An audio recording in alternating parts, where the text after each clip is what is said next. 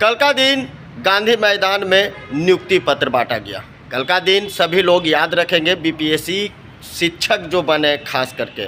अब गांव-गांव पढ़ाने जाएँगे और बातें सभी लोग कहा कि अब हर गाँव शिक्षित होगा, गांव-गांव जाकर पढ़ाएँगे। नवयुवक है, हर्षोल्लास है, नौकरी मिलने की खुशी है बिहार में। हम आपको सुनाते हैं नीतीश की वो बाइट जो गांधी मैदान से ऐलान किए। लंबे समय के बाद शिक्षा मंत्री चंद्रशेखर ने खुले मंच से क्या कहा?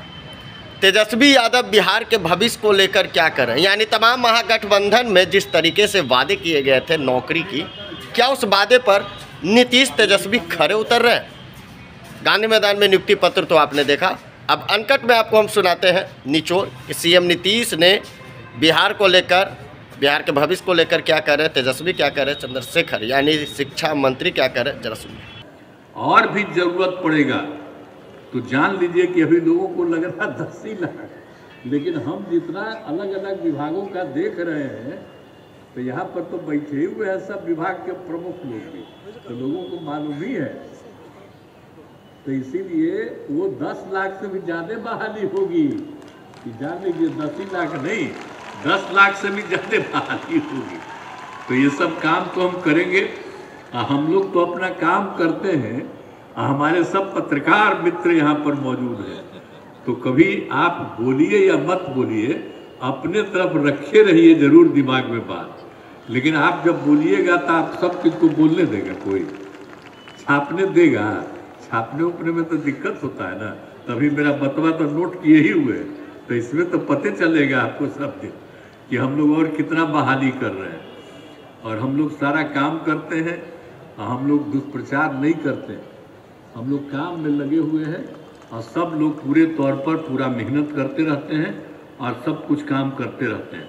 तो हम लोग पूरे के पूरे तौर पर सब कुछ कर ही रहे हैं, और आप सब लोगों को मालूम ही है कि हम सब लोग तो जो भी होगा तो इस पर जो पूरा का पूरा जो हम लोग चाह रहे हैं कि बहुत तेज़ी से काम हो जाए, और आप जानते ही हैं कि हम लोगों ने तो जो भी जो शिक्षकों की बहाली है तो सभी पंचायतों में उच्च प्राथमिक विद्यालय स्थापित किए गए।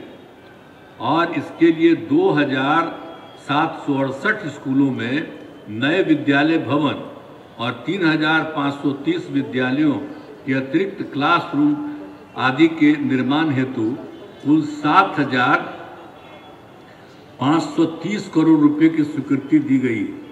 और उस समय तो भाई विजय चौधरी जी थे मंत्री, अभी तो अब उनका विभाग हो गया है, वित्त विभाग। तो आज तो अपने बोलिए रहे थे। तो भी तेज़ी से काम, बहुत तेज़ी से वो चीज़ भी पूरा हो जाए। क्योंकि पिछला बार भी देखिए हम बोल दिए थे। पिछला बार भी जो हो रहा था, अरे पिछले दो महीना पहले तो उस समय भी हम एक बात कह दिए थे कि वो भी तेज़ी से काम उसका भी कर दीजिए, ताकि ये काम जो है सात हज़ार पाँच सौ तीस करोड़ रुपए की स्वीकृति दी गई है, उसको भी जल्दी से जल्दी कर दीजिएगा। तो जितना भी विद्यालय भवन है, जितने भी विद्यालय हैं, सब बहुत अच्छे ढंग से हो जाएँगे। और एक बात तो और न जान लीजिए कि 2005 में तो ये भी ना पता चल गया था कि 12.5 प्रतिशत बच्चे विद्यालय से बाहर थे। तो उसी में हम लोगों ने कर दिया सब ज़्यादा महादलित और अल्पसंख्यक थे। तो हम लोगों ने तो शुरू किया था टोला सेवक का तालीमी मरकज।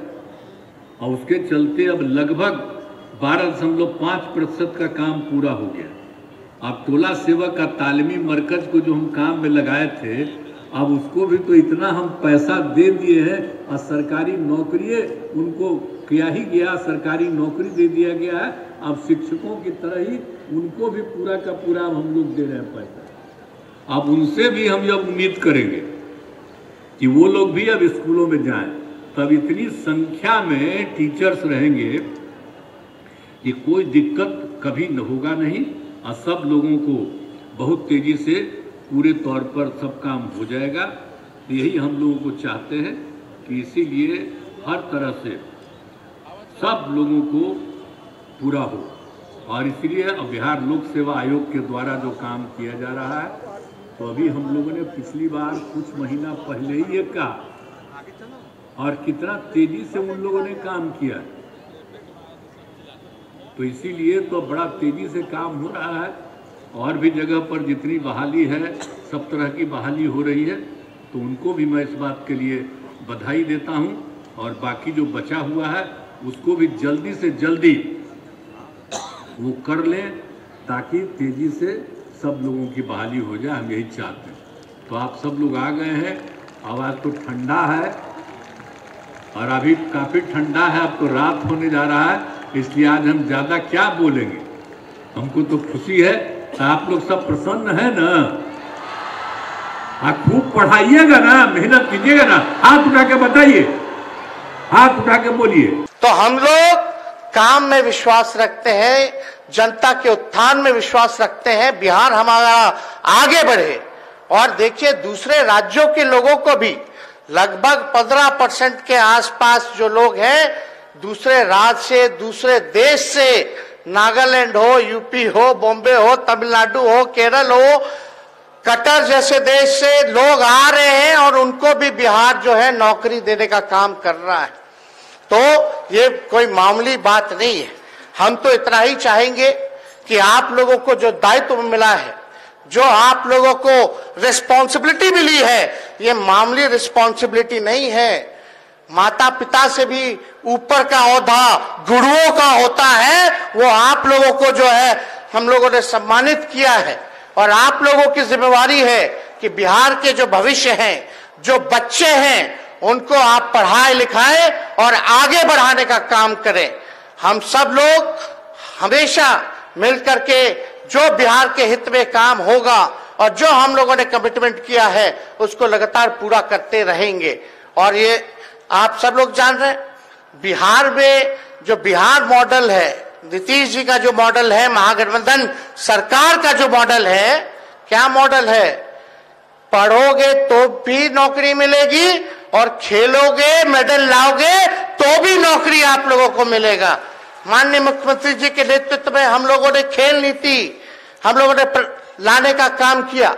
और खेल नीति के साथ साथ जिन बिहार के खिलाड़ियों ने मेडल लाया है।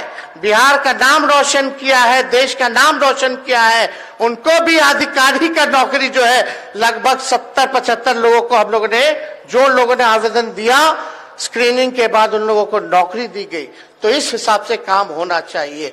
हम लोग तो काम करते रहेंगे और आप सब लोगों पर हमें नाज है कि आप सब लोग अपने मेरिट पर यहाँ, अपने प्रतिभा पर मेहनत करके कितना लोग कैंडल में पड़ता होगा, कितना लोग गरीब परिवार का होगा, सब लोग अपने मेहनत पे, बलबूते पर यहाँ आए हैं तो आप सब लोगों को हम शुभकामना देना चाहेंगे।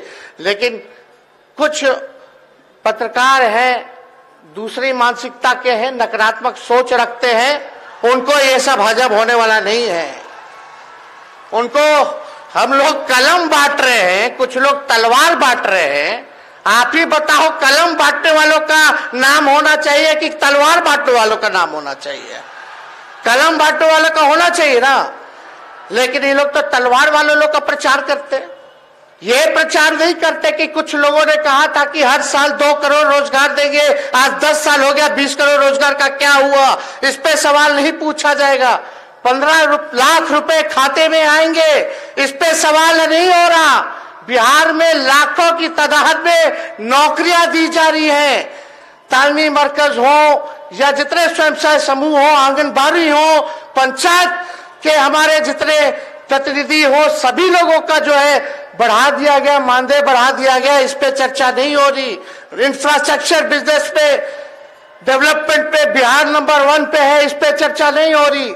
बिहार जीडीपी में टॉप थ्री स्टेट्स में इंडिया में आता है, इस पे चर्चा नहीं हो रही। यहाँ कानून का राज है, जो गलत काम करने वाला है, उसको सजा होती है।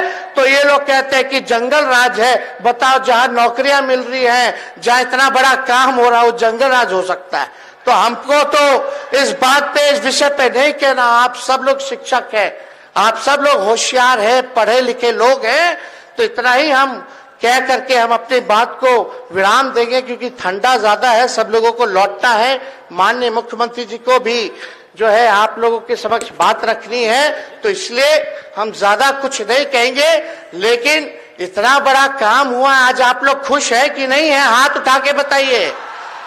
अरे, जो मुस्कान, जो खुशियाँ आपके चेहरे पर है, वही मुस्कान उन बच्चों के चेहरे पे भी आना चाहिए। लेकिन आप सब लोगों से अपील करेंगे कि सब लोग एक बार जिन्होंने मुस्कान आपके चेहरे में नौकरियाँ आपको देने का काम किया है, बिहार के मुख्यमंत्री जी ने, उनके लिए खड़े होकर के एक बार जोरदार ताली बजाने का काम कीजिए, धन्यवाद करने का काम कीजिए। तो आप सब लोगों को तहे दिल से हम धन्यवाद देते हुए अपनी बात को विराम देते हैं। जय हिंद, जय बिहार।